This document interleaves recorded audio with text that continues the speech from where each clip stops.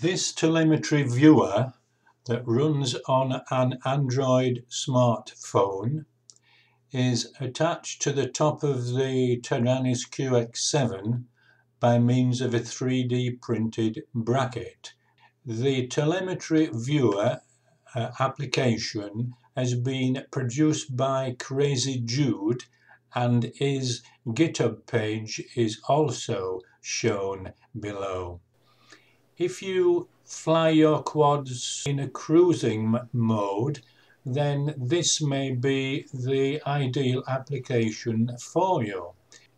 The uh, phone communicates with the QX7 by means of a Bluetooth module on the QX7. The Bluetooth on the Taranis is enclosed in the yellow box that you see there.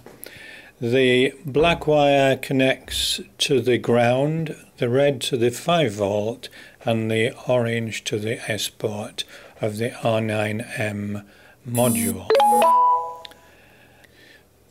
The S port data is inverted so we need to have an inverter between the R9M module and the Bluetooth. Uh, I used a 2N7000 to do this um, and I copied this uh, circuit diagram from one that I have found on the internet that used the same item.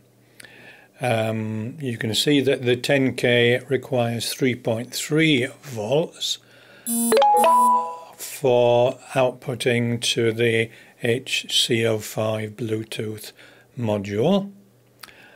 And the 3.3 volts is able to be picked up from the HC05 again I've copied this diagram from the internet. It was the same as I have done so I haven't reproduced my own but you can see the 2N7000 is easily mounted on the HC05 module.